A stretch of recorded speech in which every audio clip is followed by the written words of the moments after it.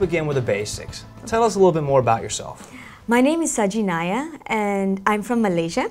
I've done my Masters of Arts in Corporate Communications. I graduated in 2010 and I've been in Denmark for a little more than three and a half years now.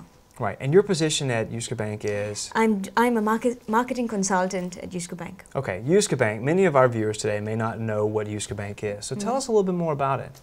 Well, Jyske Bank is the second largest bank in Denmark and it's also ranked as one of the most safest and strongest banks in Europe.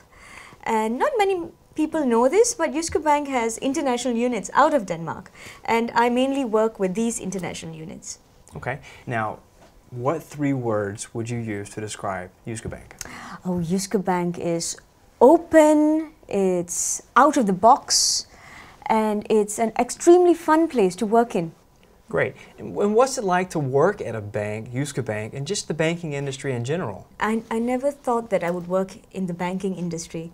And what I realized is it's very fast, it's very dyna dynamic because, you know, it works with currencies and commodities, things like that. So every slight difference makes a big difference in the banking world. So, you, so there's a lot of, uh, you, you need to communicate very quickly.